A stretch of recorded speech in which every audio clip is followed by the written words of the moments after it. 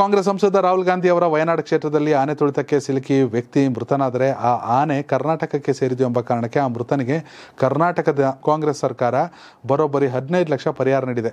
ಕನ್ನಡಿಗರ ಶ್ರಮದ ದುಡಿಮೆಯ ತೆರಿಗೆ ರಾಹುಲ್ ಗಾಂಧಿ ಅವರ ವಯನಾಡ್ ಮಂಡಳಿಗೆ ಎಂದು ರಾಜ್ಯ ಬಿಜೆಪಿ ವಾಗ್ದಾಳಿ ನಡೆಸಿದೆ. ಈ ಕುರಿತು ಟ್ವೀಟ್ ಮಾಡಿರುವ ರಾಜ್ಯ ಬಿಜೆಪಿ, ಇದು ರಾಜ್ಯದ ಕಾಂಗ್ರೆಸ್ ಸರ್ಕಾರ ಸ್ವಾಭಿಮಾನಿ ಕನ್ನಡಿಗರ ತೆರಿಗೆ ಹಣವನ್ನು ದುರುಪಯೋಗ ಮಾಡುತ್ತಿರುವ ಅಸಲಿ ಎತ್ತು. ಕರ್ನಾಟಕದಲ್ಲಿ ಆರುನೂರಕ್ಕೂ ಹೆಚ್ಚು ರೈತರು ಸಿಎಂ ಸಿದ್ದರಾಮಯ್ಯ ಅವರ ರೈತ ವಿರೋಧಿ ಆಡಳಿತಕ್ಕೆ ಬೇಸತ್ತು, ನೇಣಿಗೆ ಶರಣಾದರೆ ಅವರ ಆತ್ಮಹತ್ಯೆಯನ್ನು ಗೇಲಿ ಮಾಡಿ ಬಿಡಿಗಾಸು ಪರಿಹಾರ ನೀಡಿದ ಕಾಂಗ್ರೆಸ್ ಸರ್ಕಾರ ಕೇರಳದಲ್ಲಿ ಸತ್ತ ವ್ಯಕ್ತಿಗೆ ರಾಜ್ಯ ಬೊಕ್ಕಸದಿಂದ ಪರಿಹಾರ ನೀಡಿದ್ದು.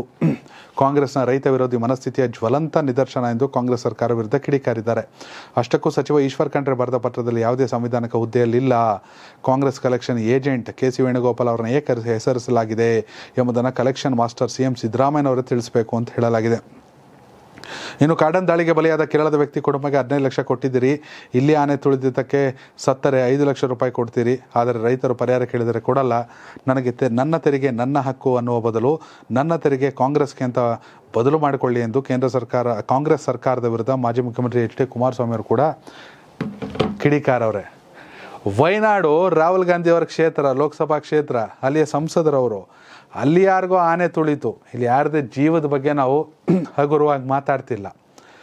ಆ ಆನೆ ಕರ್ನಾಟಕದೊಂದು ತಗೊಂಡು ಹೋಗ್ಬಿಟ್ಟು ಅಲ್ಲಿ ಹದಿನೈದು ಲಕ್ಷ ಪರಿಹಾರ ಕೊಡೋದಂತೆ. ಇದ್ಯಾವ ದೊಡ್ಡ ಗನಂದಾರಿ ಕೆಲಸ? ಮನೆ ತಗೊಂಡೋಗೋ ಊರವ್ರಿಗೆ ದಾನ ಮಾಡೋದು ಅನ್ನೋಂಗೆ ಬಿ ಜೆ ಪಿಗರ ಪ್ರಶ್ನೆ. ಇಲ್ಲಿ ನಮ್ಮ ರೈತರು ಸಾಕಷ್ಟು ಸಮಸ್ಯೆಗಳಿಂದ ಆತ್ಮಹತ್ಯೆ ಮಾಡ್ಕೊಂಡ್ರು, ಬೆಳೆ ಇಲ್ಲ, ಬರ ಪರಿಹಾರ, ಇವರೇ ಹೋಗ್ಬಿಟ್ಟು ಡೆಲ್ಲಿಲಿ ಪ್ರೊಟೆಸ್ಟ್ ಮಾಡ್ಕೊಂಡು ಕೂತ್ಕೊಂಡ್ರು. ನಮ್ಮ ತೆರಿಗೆ ಹಣ, ನಮಗೆ ಕೊಡಿ, ನಾವು ಕಟ್ಟಿದ್ದೀವಿ ಹೆಚ್ಚಿನ ಟ್ಯಾಕ್ಸ್ ಇಡೀ ದೇಶದಲ್ಲಿ ಎರಡನೇ ರಾಜ್ಯ ಹಂಗೆ ಹಿಂಗೆ ಅಂತ.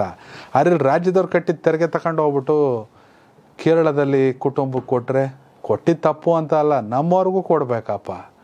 ಇದು ಬಿ ಜೆ ಪಿ ನಿಜಕ್ಕೂ ಸರಿಯಾಗೇ ಇದೆ.